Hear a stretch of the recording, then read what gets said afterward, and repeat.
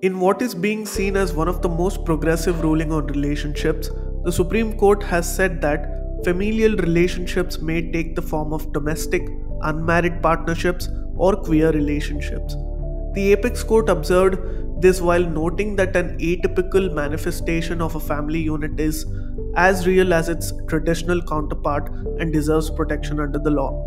The predominant understanding of the concept of a family, both in law and in society, is that it consists of a single unchanging unit with a mother and father.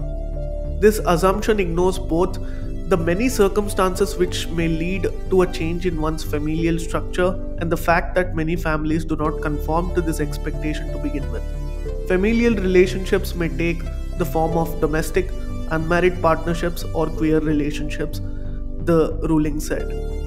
The Apex Court made the remarks in a verdict that held that a working woman cannot be denied her statutory right to maternity leave for her biological child only because her husband has two children from a previous marriage and she had availed the leave to take care of one of them, the report said.